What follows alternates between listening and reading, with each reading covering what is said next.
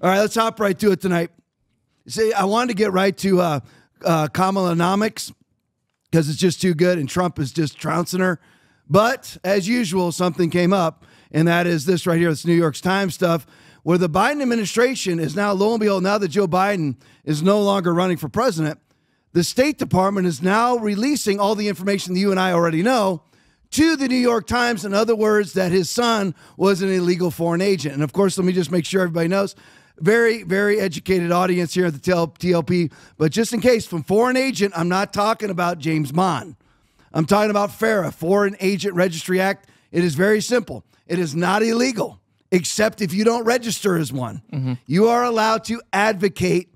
You are allowed to uh, do do basically lobby on behalf of a foreign entity, even possibly a foreign government as long as you register as a foreign agent. Yeah. I'm trying to remember. Barbara Boxer, former senator out of California, is a registered foreign agent, probably for China, if I remember correctly, but I don't remember. So as long as you register, you can be a foreign agent. This is what they absolutely hysterically arrested General Flynn, General Michael Michael Flynn over is being is is is FARA violations when he was the incoming intel chief so he was the incoming intelligent, basically uh, intel. I can't remember his title, but I never can for some reason. But anyway, he's come, basically coming in as a as the like the head intel chief for the for the Trump administration. So he's calling all around the world, making connections like everybody does whenever you are an incoming administration. That's what the FBI went after him for was FARA violations. So basically, if Trump gets elected, or let's just say Kamala. I know this is gross, and everyone just threw up in their mouth. If Kamala gets arrested, gets gets arrested, that was a Freudian slip.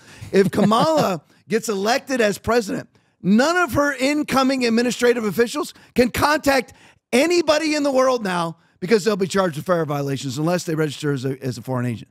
What? So that is that's an absolutely ridiculous, hysterically, if it wasn't so sad, funny charge on Michael Flynn.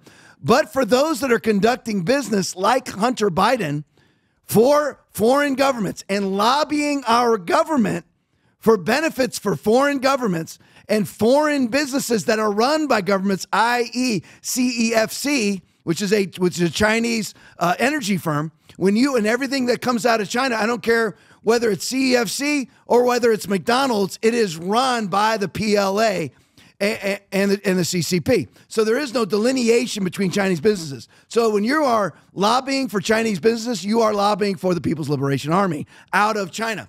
But it wouldn't even matter, even if it was lobbying for, you know, China Electric Car Company, China Electric Car Company. Then if you're doing that, it doesn't matter. You have to register as a foreign agent. Barbara Boxer was, Aaron sending me this. Barbara Boxer was a registered foreign agent. Hey, I got it. For Chinese, oh, Oh my word! Yeah. For a Chinese surveillance company that was actually targeting targeting the Uyghur Muslims, that they're doing mass experimentations and mass rapes and mass dissections on right now.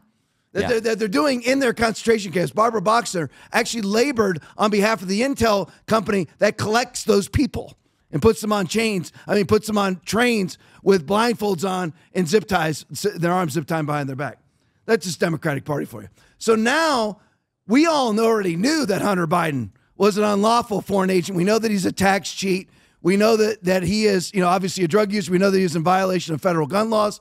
Uh, probably a pedophile, according to his own uh, his uh, laptop, which now, of course, the feds had to testify under oath was his, always was his, always will be his. When you have people like Dan Goldman calling it a Russian plot to this to this day, Dan Goldman, congressman out of New York, calls it a Russian plot. To this day, because you never know what Rudy Giuliani did. Even though the FBI and the DOJ testified under oath prior to Goldman's testimony that it was, in fact, Hunter Biden's. So now we know that they've known forever, including Dan Goldman, that Hunter Biden was actually an unregistered foreign agent. We, and they, they've known it for a long time. Now that Biden isn't running for president, He's allowing his State Department to release this information. Just a little bit of maybe deep in the weeds thing. It might be Biden versus Biden. It might be Hunter versus Joe mm. because Hunter has kind of held Joe hostage about, you better get me a deal or I'm going to testify. So maybe Joe's sending back. You might not want to hold that over my head because I can release everything on you. It could be Biden. I mean, I'm not predicting this, but you could actually see Hunter Biden turn state's evidence because his dad has everything on him and he has everything on his dad. It's just a matter of who wants to, who wants to sell out the other one for their own personal benefit. So New York Times as Hunter now this is what the New York Times was writing. This is what they were writing a couple months ago. As Hunter Biden's trial nears, President Biden pulls him close. Isn't that close? And That's just, I mean, right now, suddenly I have this warmth in my chest. Mm. President Biden has weathered years of scandals. Pres- I'll read it in my, my feminine voice. President Biden has weathered years of scandals surrounding his son. People close to both men say the president has refused to treat him as a political liability. So that's what the that's what the New York Times was writing a few months ago. Now the State Department the State Department, Antony Blinken, is now releasing information to the New York Times about Hunter. Go to the next for me, Naz. So here's the next article. This is this is more of today's article or yesterday's article. Hunter Biden sought State Department help for for for Ukrainian company. By the way, it's not just Ukrainian; it's also Romanian, and we'll get into all this for a Ukrainian company. After which, oh, by the way, 705 people that are on right now, we already know. Yeah, we already covered this uh, two years ago. So it's, it's amazing. The New York Times think they have a breaking story.